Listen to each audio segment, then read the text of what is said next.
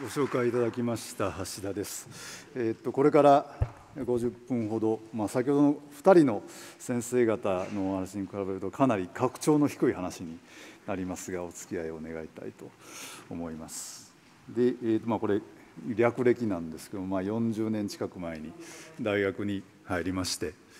で、えー、っとまあ、一時ですねあのこれ第二次 AI ブームってご存知の方いらっしゃるかもしれませんけどもあの1980年代の初め頃から10年ぐらい、えーまあ、AI のブームがあった頃に、えー、こういうあの第5世代という国家プロジェクトをやってまして私そこで、まあ、いろいろ AI の研究してたこともありました。で大学に移ったのはあの4年前ですね。でずっと人工知能とかあのの研究をやってきてましてで最近のテーマは研究テーマはパーソナルデータの保護と活用ということで今日のお話はその内容ということになります。であの、まあ、今回の講義全体として秩序ということがテーマになってますけども秩序はどうして生まれるかというとですねえーまあ、一般に情報の循環から秩序が出てくるということが言えると思います。でまあ、それは仮説検証サイクルといったりあるいは PDCA サイクルといったりいろいろな呼ばれ方で呼ばれているわけですけれども、まあ、カール・ポッパーという人は進化的システムというふうに呼んだりしています。で情報技術あるいはその情報通信技術の目的というか効能というのはこのサイクルの効率を高めるということになるわけですね。でタイトルになります「スマート・ソサエティ」というのはどういうものかというとこの人工知能 AI と社会を融合させることによってこのサイクルの効率を最適化するということだと考えられます。で、えー、まあ、タイトルのパーソナルデータです。が、まあ、個人情報という言葉はご存知だと思いますけどなんでその個人情報とパーソナルデータというふうに言い換えをするのかというとですね一応その、えー、まあ、最近施行されました改正個人情報保護法に、えー、個人情報および個人データという言葉の定義があります。2条を見ますと、個人情報というのは生存する個人に関するもので、次のいずれかであると、まあ、いずれにせよ個人を識別できる情報のことを個人情報と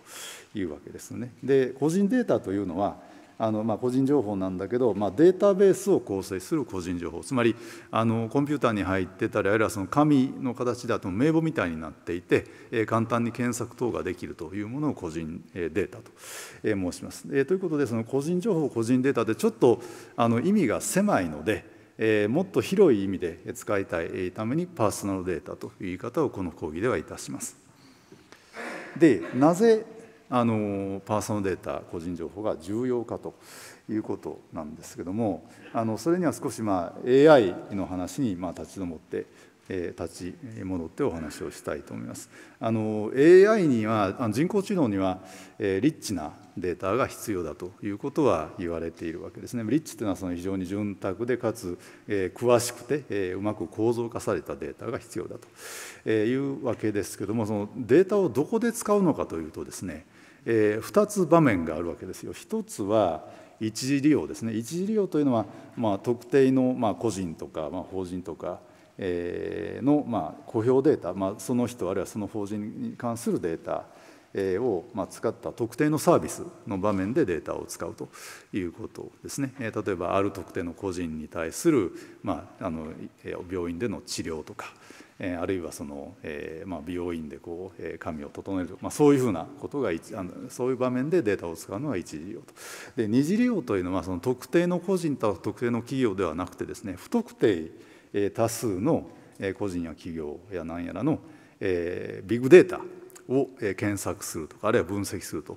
いうのが二次利用ということです。であの、えまあ、政府の委員会とかいろいろ覗いてみますといきなりそのどうやってデータ集めるのかという話を始める方いらっしゃるんですけどもほとんど二次利用のことしか考えてないわけですが実際あの本当に重要なのは一次利用ですね。えー、であの、まあ、だから一次利用二次利用のためにどうやってまあデータをまあ使えるようにするかっていうことは課題なんですがあの本当に達成すべき課題優先的に達成すべき課題は、えー、このまあ括弧1であって括弧2ではないとつまり一時利用のためにデータを使いやすくするということが、まあ、真に達成すべき課題であって二次利用のための、まあ、ビッグデータの収集というのはあのこの1ができればできますから、え1ができれば2もできるので、えー、より重要な課題はこの1の方一次利用のための公表データの循環をいかに、まあ、スムーズにするかということだと考えられます。でそこでですねえーまあ、いろんな種類のデータありますけれども、えーまあ、あの公共的なデータどこの道路がどれぐらい混んでるみたいなそういうふうなデータ国勢調査のデータとか、えー、いうようなオープンデータだけではなくて、えー、パーソナルデータというのが、まあ、結構重要だということなんですが、えー、結構というのは非常に重要だということなんですけどもあの、えー、そもそも世の中の価値というのはほとんど個人向けサービスから生まれるというふうに考えられます。あの GDP のえー、ほとんまあ、大半ですね。日本だと56%ぐらいかな。あの日本の家計消費支出は300兆円ぐらいです、えー、っと GDP 全体500兆円ぐらいですから、まあ、6割近くがあの個人消費支出、まあ、個人向けサービスから生まれているということですしプラスあの例えば家事とか育児とか看病みたいなえー、個人向けサービスは GDP にカウントされないですよね。家庭大抵家庭の中でタダで、えー、提供されているわけです。そういうサービスがないと我々の生活成り立ちませんから、まあ、非常に重要だと、えー、いうことで、まあ、世の中の価値のほとんどは個人向けサービスから生まれていると。いうことですからこのパーソナルデータの活用つまりこういう個人向けサービスに活用するということでそれを促進して、えーまあ、サービスの価値を高めると。いうことは非常に重要だとつまり社会の活力とか人々の幸福度をま向上させるために必須であるということになるわけですね。じゃあそのデータをどうやって循環させればいいか活用すればいいかというとつまり各個人への個別サービスにおけるデータの活用、まあ、一時利用をどうやってまあ何というか管理すればいいかというとですね一つあの考えられるのは中央であの集中管理するということですがこれは明らかに不可能ですね。あのもう毎日のように日本のあらゆるところでさまざまなあの個人向けサービスが行われているわけですけどもその、えー、いろんな場面での、えー、サービスのための、えー、情報の流れを、え、どっか中央のコンピューターで制御するなんていうのは明らかに不可能です。え、各現場に、え、そのデータの管理運用を任せなければいけないということは、まあ、当然だと思います。でその時にさらにそのパーソナルデータの活用によって誰が一番得をするかというとご本人ですよね、えー、自分のためのサービスなんですから、えー、なのでえ本人、まあ、本人といってもその、えー、赤ん坊とか、まあ、すごいお年寄りの場合には代理人ということになりますけども、えー、本人または代理人が、えー、パーソナルデータを管理運用するということによって、まあ、それぞれのサービスの価値を、まあ、最大化すると。えー、で、まあ、社会全体として生み出される価値が最大化されるというふうに、まあ、持っていくことが重要だということになります。でそこで必要なのはえー、本人にデータを集約するということですね。えー、でこれデータポータビリティと呼びますけれどもあのパーソナルデータを保管する事業者を本人が自由に選ぶために、えーまあ、本人のところにデータが集約できるということが必要です。あの例えば、まあ、このこの事業者がこの人のデータを持っているときにえこの人はですねそのデータを出しなさいと言ってここからデータ引き出してでそのデータを本人の判断で別の事業者にま委ねるというふうなことができないとこのサービス事業者を自由に選ぶということができなくなりますから、え結局個人のデータが特定の事業者に囲い込まれてしまうと世の中の競争が起こらないということになりますのでサービスのクオリティも上がらないというわけですね。だからあの自分のデータは、えー、自分で管理するあるいは自分でその、まあ、自分の意思によって、えー、まあ事業者を自分、えー、自由に選んでその事業者にデータを、えー、預けるというふうなことができなければ、えー、世の中全体の価値を、えー、持続的に高めることはできないと。え、いうことになるわけですね。だからどうやってこのデータポータビリティを実現するかということはあの、まあ、日本政府も最近えー、結構気にしてますし、まあ、ヨーロッパあたりでも随分話が進んでいるということは後からお話しいたします。であの個人の手元に、まあ、データを置いてそれを個人の意思で、えー、あの活用するというための仕組みを PDS パーソナルデータストアと呼びます。で、えっと、これはですね概念そのものは非常に古くて、え部分的にはその1970年47年前の星新一の小説に「情報銀行」というものが出てきますので、えっとまあ、これ今でも角川文庫から出てる本ですからもし興味があればご覧ください。ということで、まあ、考え方は古いんですけれども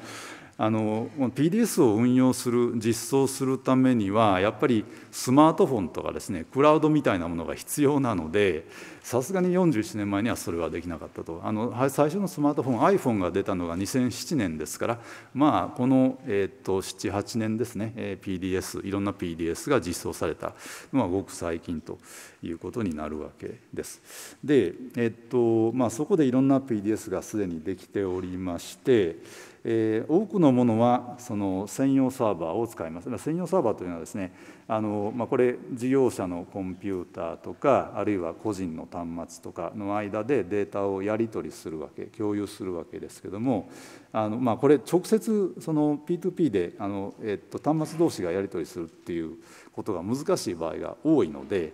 え中継サーバーを置くというのが普通です。でこの中継サーバーとして専用のものを使うというような作りの PDS がまあ大半を占めています。で私がこれからお話ししようとするのは PLR というあの一種の PDS なんですけれどもそれはこの中継サーバーとしてまあ専用のものを使う必要がないという形をしています。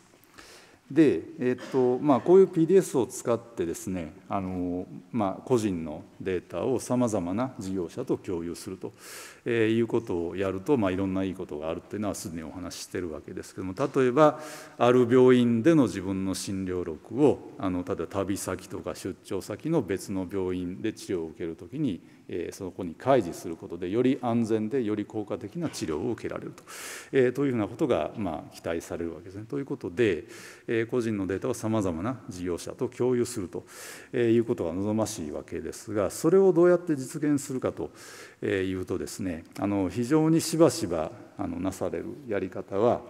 えーまあ、この人があのこういう、まあ、青い矢印で示されるいろんなデータ共有を、え、集中管理するというものですねえ。集中管理するために、まあ、あのサーバーコンピューターとか必要だし、まあ、いろんな仕組みが必要で、まあ、そのサーバーを重りするための人件費とかもかかりますのでえそこでいきなり余計なコストがかかってしまうということがあるわけですがさらにまずいのはえこの人集中管理してますからここで流れるデータえー、全てにアクセスすることができるんですこのデータを全て見ることができるんですねこの人は。ということはこの人が間違ったりあるいは悪いやつだったりすると、ここに流れる流れてるデータが全て漏れるということが起こっちゃうわけです。ということで集中管理によるデータ共有はわざわざコストをかけてリスクを生み出しているという、まあ、あまり賢くないやり方だということになります。なので、えー、仲介者を置くのはやめましょうというのが分散管理ですね。えー、っとまあ、例えばこのこの人とこの人とかこの人と、まあ、この事業者の間でデータ共有しようと思った時に直接共有するとつまり仲介者がいないとというやり方ですつまりここにあの挟まる、えー、っと何らかの特別な仕掛けはないので、えーまあ、コストがかからないということとあとここで共有されているデータ全てにアクセスできる人はいませんから、えー、このデータが全て漏れるということも絶対に起こりえないと。いうことになるわけですねつまりこの方が安くて安全という話です。でこのやり方だとあの必然的にパーソナルデータを本人または代理人が管理運用するということになります。というのはその、まあ、パーソナルデータ個人情報を使う時には原則として本人同意が必要ですからデータを出す側が普通はま本人あるいは代理人であるということになるわけですね。で、えーと、そういうふうにするとつまり、えー、本人がパーソナルデータを管理、えしていれば本人の同意のみに基づいて簡単にデータを集めることができるわけです。今まではですね例えばあの、まあ、医学の研究者が患者さんを1,000人集めてきて患者さん1,000人から本人の同意をもらいましたと。なのでデータを出してくださいというふうなことを病院に行っても病院からはデータは出てこないというふうなことがしばしばあったわけですね。それは病院がデータを管理しているのであの本人のみならず病院のあの了解も得ないといけないんだけど病院にとってはそんな面倒くさいしリスクもあるんでやりたくないということになっちゃうわけです。ところがそのデータを本当に本人が管理していればえー、本人の同意のみに基づいてデータを使うことができるということで、まあ、医学に限らずいろんなあの、まあ、大量のデータを使った研究開発が、えー、可能になると、えー、より簡単になると、えー、いうことが期待されます。でそういうことが、まあ、できるうまい話があるのかというのが、まあ、一種の PDS であります。我々作っている PLR というものがあります。これはパーソナルライフリポジトリ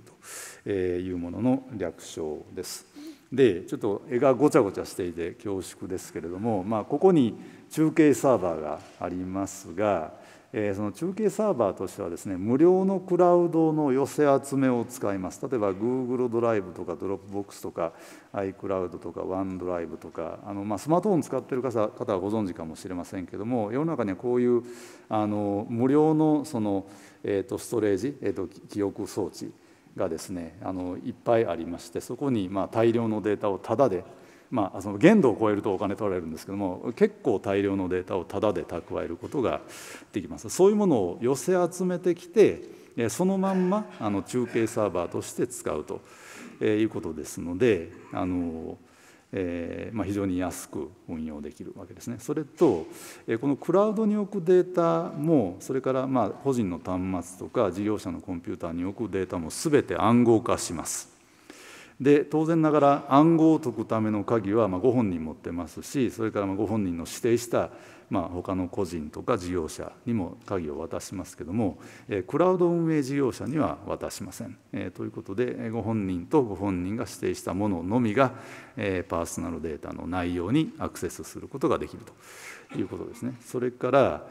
この、ま、クラウドの寄せ集めと書きましたけども1つじゃなくて3つ4つ組み合わせて使うというふうにすればですね特定の一事業者に囲い込まれるということもないわけですね。えー、ということで、まあ、個人が主導で、えー、自分のパーソナルデータの活用ができると,、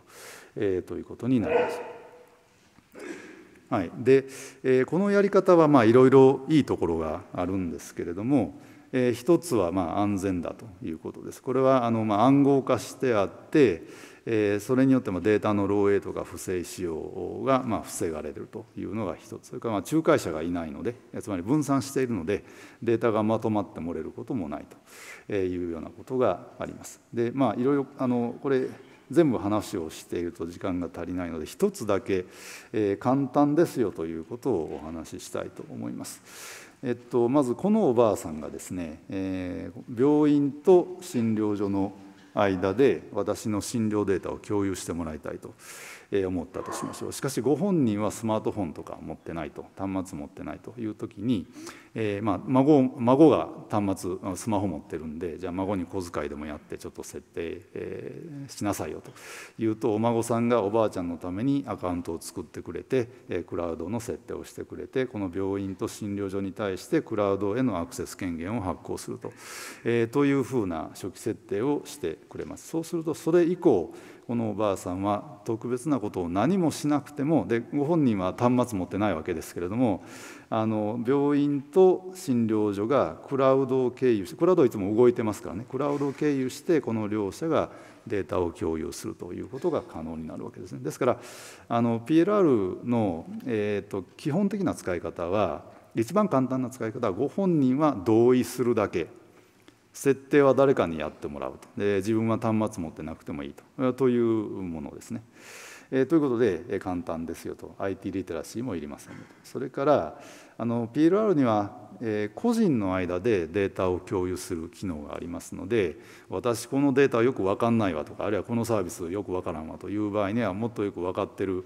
人に自分のま関連するデータを預けてその人に自分に代わってデータの運用をやってもらうというふうなことが可能ですのでデータとかサービスに関する専門知識もいりませんという2つの意味で PLR を使うのは簡単です。で実際これを使ってる例っていうのはいくつかありまして今まで主に介護で使ってたんですけども山梨と鳥取と東京の介護施設で合わせて70人ちょっとのま高齢の方が、まあ、あの入居されたり、まあ、利用されたりしてるんですけどもその人たちの介護記録を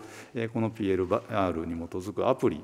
で、まあ、作ってそれからまあ介護施設の中で共有するあるいはご家族と共有するというふうなことをやってきています。であの山梨の介護施設では、まあ、70人ぐらい入居者さんおられるんですがもう2年ほど前に私の手を完全に離れて現場の日常業務で普通に、えこの仕組みを使っていただいています。で、えー、と運用規模はまあ70人とかそれ、まあ、実際にそのアプリを使う方は30人ぐらいなんですけども非常に小さな規模ですけれども先ほどからご説明しておりますように PLR というのは分散システムで専用サーバーがいらないので70人とか30人に関して安定的に運用できるということはそのまんま何億人に対してでも安定運用できるということを意味しています。えー、ということで、えこの仕組みのもっと広めましょうと、え考えて今度は医療で使おうというプロジェクトを進めています。えー、全国で、まあ、あの結構たくさんのところでその地域の医療機関同士がデータ共有するみたいなことをやっているところがありましてな300ぐらいあるそうですけどもそのうちのいくつかと連携をしましてで各地でですねえー、まあ各個人が中心になって看護師さんとか介護士さんとかお医者さんとか薬剤師さんとか保健師さんとか、まあ、こういう人たちとデータをまあ共有して、まあ、この人たちが連携できるように協力できるようにすると、えーまあ、いわゆる地域包括ケアみたいな話ですよねも含めて、えーまあ、個人ベースで、えー、と安価かつ安全にえデータを運用してご本人のヘルスケアの質を向上させるということをやろうとしています全国でやろうとしています。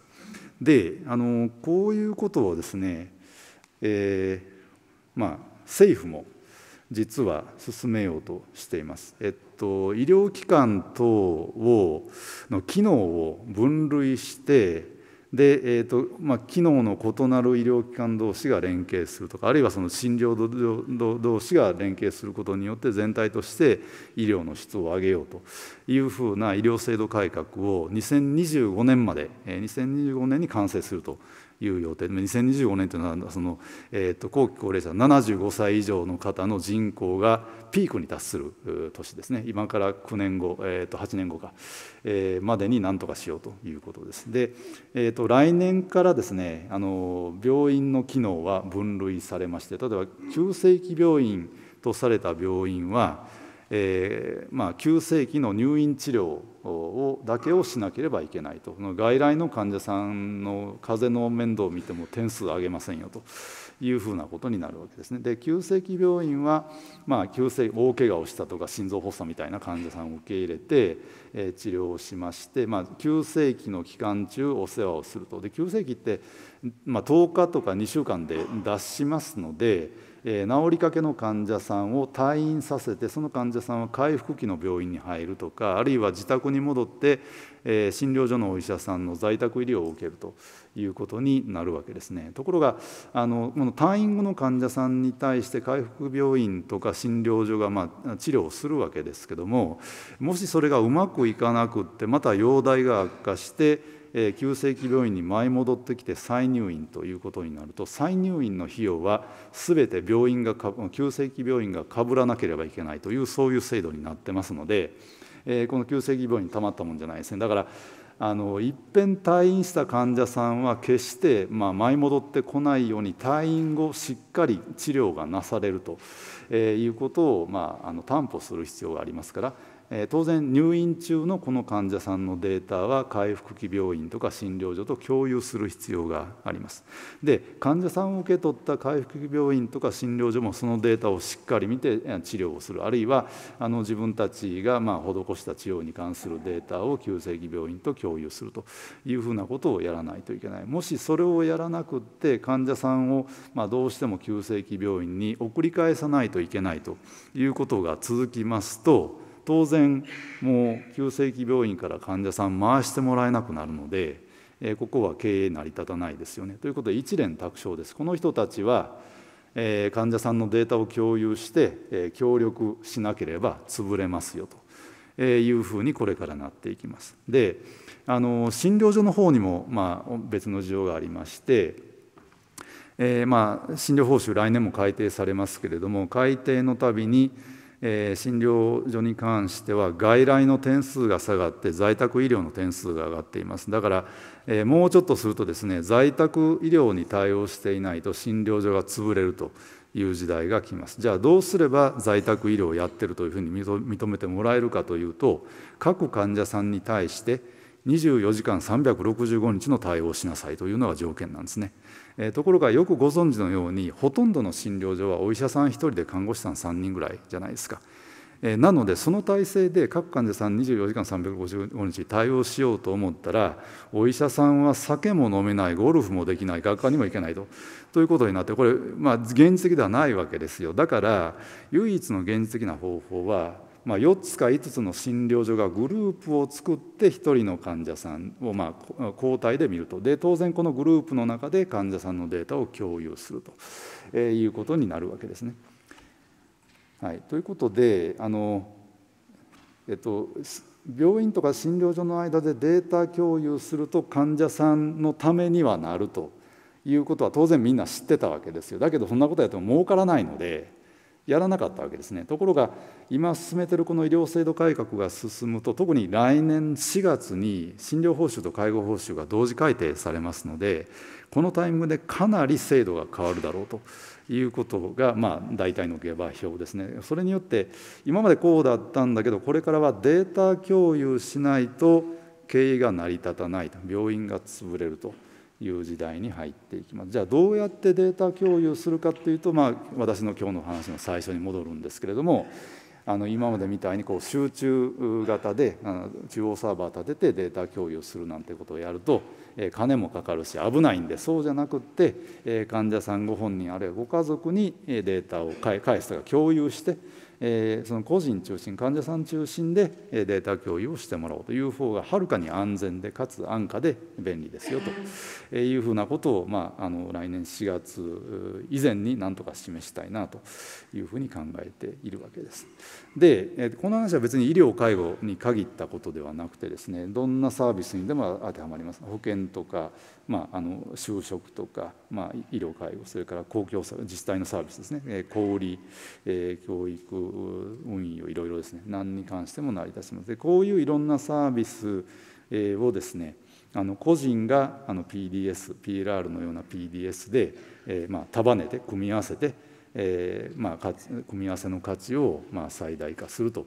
いうふうなことができるようになれば実はその大きな組織がいらない世の中になるのではないかというふうに考えられます。あの大きな組織大会社とかその大きなお役所なんかが必要なのはあの間接部門を養うためですよね。え、文書管理とかですねいろんな情報共有みたいな間接業務をやる部隊を養うために大組織が必要なんですけどもその間接業務はえー、全部個人個人に属する AI ができますよというふうになれば大きな組織はいらなくなります。えー、ということで、まあ、例えばですねあのちょっとこの絵分かりにくくて恐縮ですけども、えっとまあ、いろんな事業者さんがいろんなサービスとか商品を提供しているとそのサービスとか商品の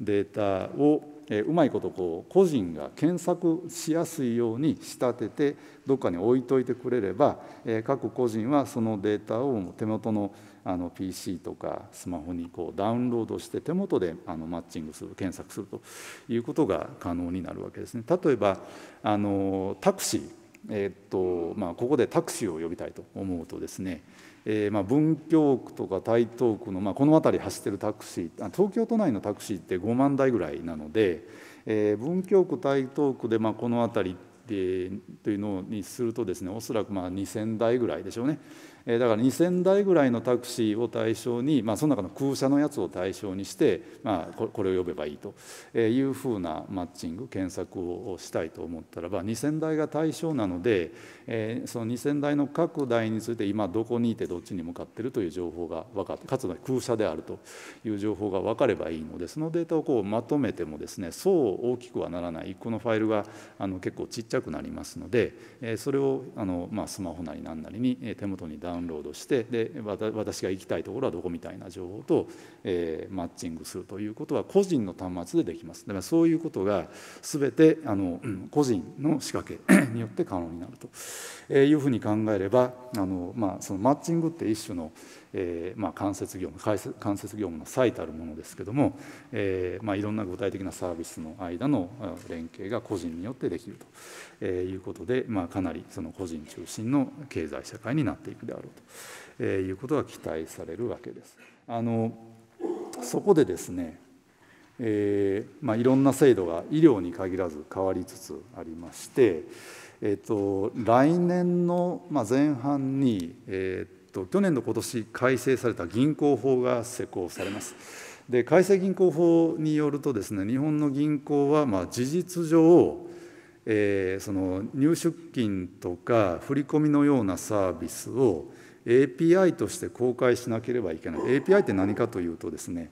あのアプリケーションプログラミングインターフェースの略ですけども他のプログラムからのアクセスを受け付けるためにプログラムに設ける口のことですだからこのプログラムにまあ API というのを設けると他のプログラムがこの API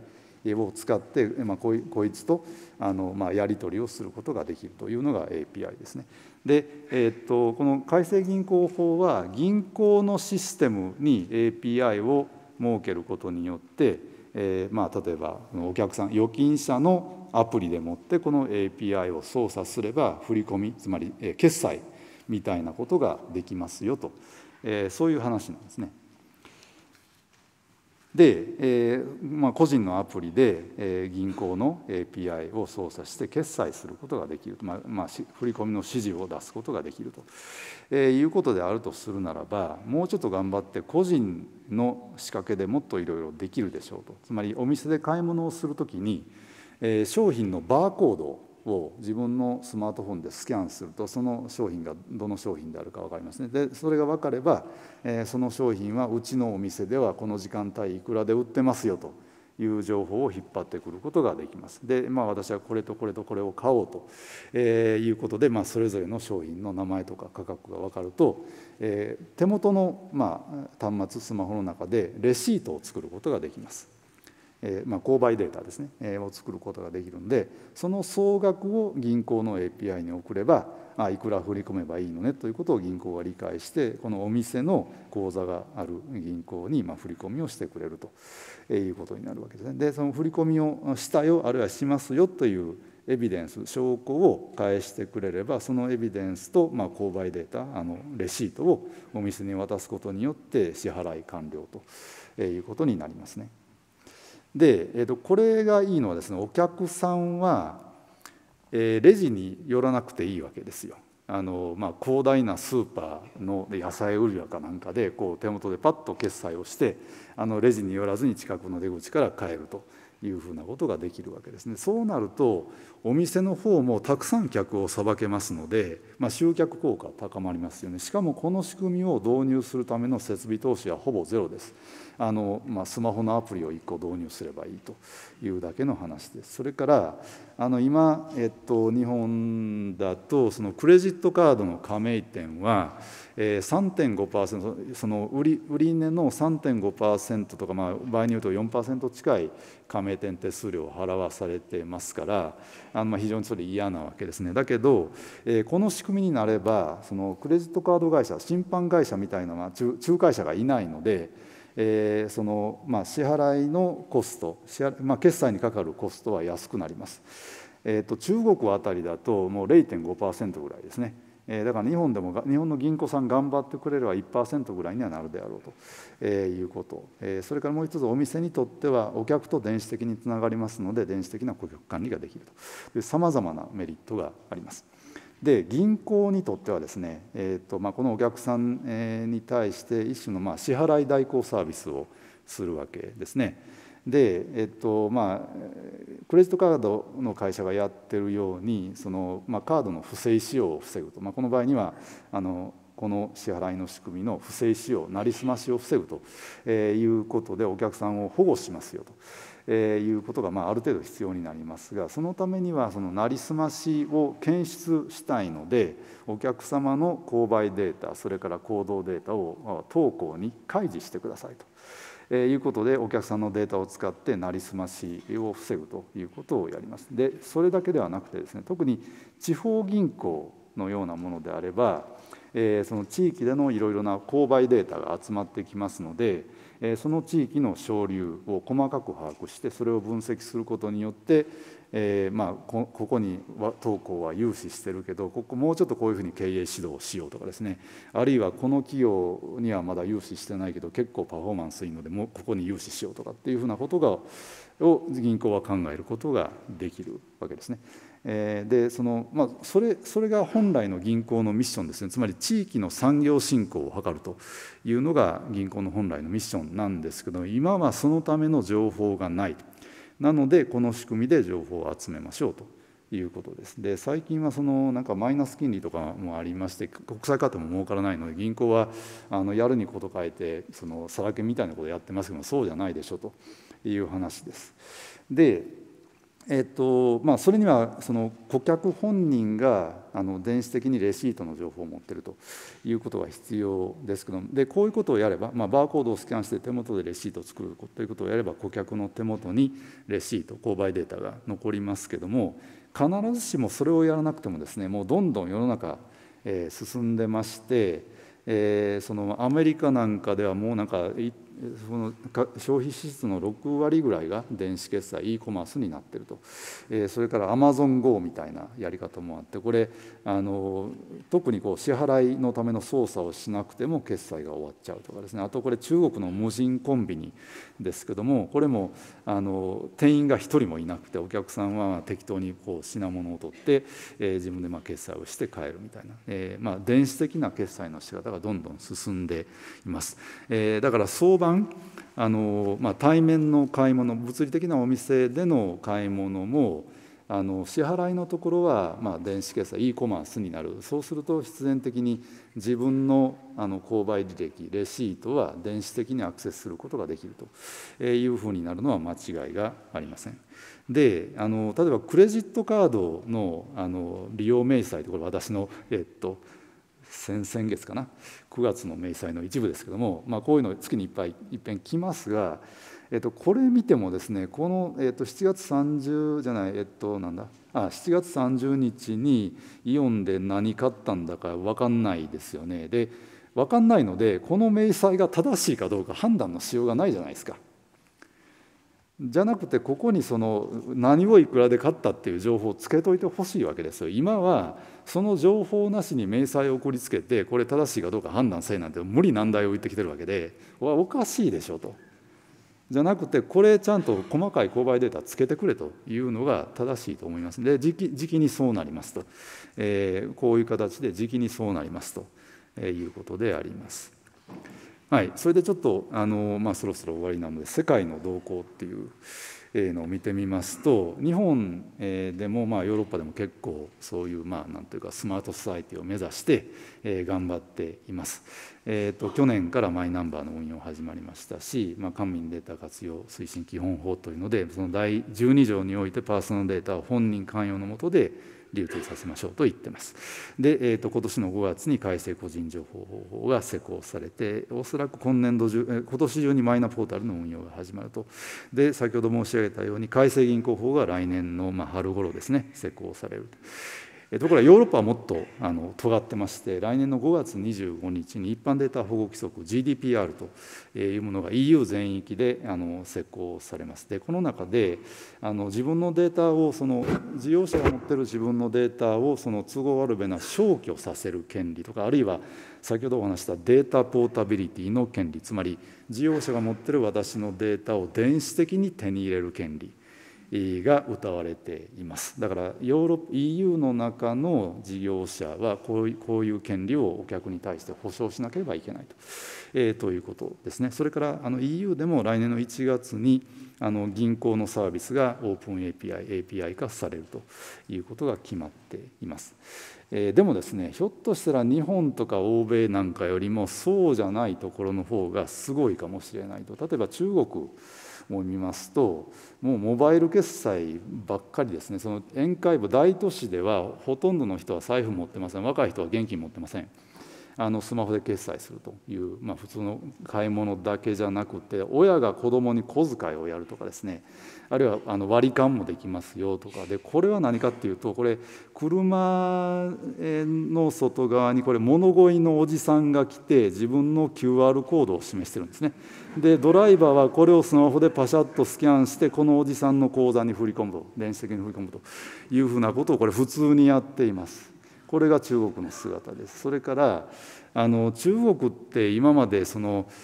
個人の間の信用が非常に低かったわけですね。えー、騙すいつ騙されるんじゃないかみたいなそういう社会だったわけですけどもその、えー、チーマー信用っていう新しいサービスが始まってこれはあのいろんなサービス例えば決済でも何でもいいですがいろんなサービスにおける各ユーザーのえ、振る舞いのデータを、ま、データベースに蓄積して個々人を評価すると、え、この人はちゃんとそのお行儀よくなあの、えーと、施設を使ってくれるとか支払いがいいとかいうふうなことを評価するシステムです。でこの評価に基づいて、まあ、その評価が高いといろいろ得をしますよと。例えばあのまあ何というかこうえーと、預け金を払わなくていいとかビザを取るのがまあ楽になるとかいろんな有利なことがあります。逆に評価が低いとそういうことがいちいちやりにくくなると,、えー、というふうにすでに中国の社会はなっています。つまりこれによってもう中国人はみんなお行儀よくするしかないんですね。だから最近日本にやってくる中国人観光客のマナーもどんどん良くなっています。であのこれドイツの人があの今の習近平政権のことを表してデジタルレーニン主義ということを言い出しました。1990年前後に、えー、まあ東の革命とかあるいはソ連の崩壊とかありまして、まあ、社会主義はダメだと。つまり人間によって計画経済をやるのは無理であるというふうに、まあ、いっぺんなっちゃったと思うんですがいや待てよと。AI ビッグデータを使って AI で計画経済するのはできるんじゃないのと。いうふうなことをどうも習近平政権は考えてるんじゃないかと。えー、だからあのプロレタリアート独裁ではないビッグデータ独裁ですね。これなんかもうイデオロギーとしては共産主義でも社会主義でもないと思うんですがもしこれに共産党が恣意的に介入するとすれば、まあ、あまりうまくいかないだろうなという気はいたします。でそれとですね先ほど最初にお話したようにその個別のサービスを中央で管理するのは無理ですからサービスの現場に委ねなければいけない管理を委ねなければいけないしたがってパーソナルデータの活用は本人に委ねなければいけないそこでまあ PDS を使うというふうなことが必要になってくるんですけどこれをやるとあの中国政府はあの中国国民の間でのいろんなコミュニケーションを制御しきれなくなります。えのでさあこれ本当にやるんだろうかいつやるんだろうかっていうふうなことは非常に興味がありますね。えー、でその、まあ、共産党の支配を続けようと思うとこれできないので結局中国もあまり伸びないということになるんじゃないかという気がしています。でもっと頑張りそうなのはインドですね。去年の11月に500ルピー札1000ルピー札を全て、まあ、交換停止しました。でその2つのお札で国内のキャッシュフローの86%を占めてたんですがそれは今や全部電子化されました。で、えっと、その上でですねあの、まあ、スマホを使ってモバイル決済をするということを、まあ、国民にやってもらいたいわけですけどもあのスマホでモバイル決済するためには銀行口座が必要です。で銀行口座を取るには本人認証身元確認が必要です。でそれを簡単にするためにインド政府は2011年にアダールっていう、まあ、公的個人認証システムを導入いたしました。これはあの目ですね。交際と指紋によって、まあ、生体認証をするという仕組みです。で、えー、と2001年以来どんどん、まあ、加入者増えていて今年の4月頃にえー、まあ全人口13億何千万人のうち11億人がすでに登録したという状況です。で彼らは簡単に銀行口座を作って、まあ、スマホがあればモバイル決済できるんですが、まあ、残念ながらあんまりスマホ持ってる人がいないのでそうはいかないと。だけどインド政府はいろんなお店に、えーとまあ、交際と指紋の読み取り装置を配って2年後ぐらいには誰でも手ぶらで行って決済買い物ができるというふうにしようっていう話らしいですね。というところまでは日本国内のまあニュースとかでも流れていると思いますが実はこのプロジェクト全体もっと壮大で、えー、そのモバイル決済するために銀行を銀行のサービスを API にするというだけではなくて他の民間企業とか政府とか自治体のサービスも API にしようということですね。そうするとこれさっきの絵ですけどもいろんなまあサービスが API 化されてデータのやり取りはこの API と個人のアプリの間で自由にできますよという話になりますね。そうすると、まあ、いろんなサービス API に対して個人が PDS を使って適宜自分のパーソナルデータを提供することでより良いサービスを受けるということが必要になってきます。なのでインド政府は国営の PDS をやろうとしています。であの、えーと、インディアスタックっていうのはプロジェクトの名前ですけども、まあ、4つのレイヤーからなってましてその一番上のレイヤーが、え、コンセントレイヤーというインドの国営の PDS です。で、え、これどうやって作ろうかっていう議論がいろいろなされた形跡があってあのアメリカの MIT の技術を使う、えー、ことが検討されたらしいですけどこの技術結構ややこしいので13億人用に運用するのは無理だろうというのがどうも結論のようですね。であの、まあ、こういうことをやろうとしてるのはインドだけじゃないですよ例えばカンボジアでも今年の4月に、えー、っとカンボジアの中央銀行が日本の空光というベンチャー企業が作っているハイパーレジャーっていうブロックチェーンの、技術を使って、まあ、ビットコインみたいな暗号通貨を国としてやると。いうふうなことを発表しています。このやり方だと銀行口座の代わりにその、まあ、鍵ペアという非常に簡単なやり方であのこの決済のネットワークに個人が参加できますのでインドのやり方よりもはるかに簡単に全国民にモバイル決済を広めることができるということになるわけですね。で、えー、とこれはあのアラブ首長国連邦のデュバイというあの、まあ、首長国はたくさんあるうちの割とメジャーなあの首長国ですけどもデュバイドバイでも同じようにあのモバイル決済、えーまあ、デジタル通貨をやろうと,、えー、というふうな話があります。はい、それで、まあ、これ、えー、まとめにかかりますけれどもあのスマートソサイティを作りたいということはもう世界各国が狙っています。日本ヨーロッパアメリカだけではありません今お話したように、まあ、中国も中国流のことをやろうとしているインドもカンボジアもやろうとで当然インドカンボジアだけじゃない例えばベトナムとかですねマレーシアとかあのタイとかどうでやってるに決まってます。でそれに必要なのは何かというと一種のインフラですね。でデータを流通させるために、まあ、オープンデータはどんどん自由に流通。でパーソナルデータとか企業のデータは、まあ、今日話した PDS を使って、まあ、データの主体、まあ、パーソナルデータだったらばあの本人が自らの意思で自由にま活用できると,、えー、というふうな仕組みが必要になるわけですね。それとデジタル通貨です。えー、その貨幣を電子化することによって社会の秩序は大幅に高まります。えー、例えばインドみたいな国だと、えー、貧しい人たちに生活補助を、まあ、あの給付しようと思って、まあ、政府からまあお金を送ってもですね現金でやるとそれを担当の役人がくすねちゃうんですね。なので政策あのその行政効率非常に悪いわけですところが電子化すれば本人の口座に着実にあの確実に届きますので、えかなり効率が高まります。それとあの治安も良くなりますね、えー、っと日本でいうとコンビニ強盗みたいなことは起こりえないと。えー、あと不正もなくなりますねあの賄賂とかですね、えー、いうふうなことも非常に、まあ、やりにくくなってくるというわけです。あのそれとその、まあ、あの購買データの活用ということもデジタル通貨には入っているとあと個人認証とかあのオープン API が必要です。で重要なのはですねこういうのって安いんですよ先ほどのインドのアダールっていう個人認証システムにインド政府がこれまで使ったお金は10億ドルつまり1200億円ぐらいかな、えー、つまり国民1人当たり1ドルもかかってないんですね。それに比べて例えば日本のリニア新幹線は5兆円ですね。全然桁が違います。だからこういうことは貧乏な国でもできます。だからどこが勝負の分かれ目になるかというと国内の抵抗勢力が多いか少ないかですね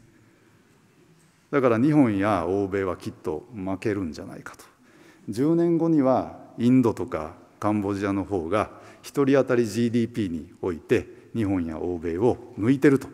いうことは十分に考えられます。で今日のまとめとして、まあ、これら3つのキーワードをぜひ覚えておいていただきたいと思います。どうもご清聴ありがとうございました。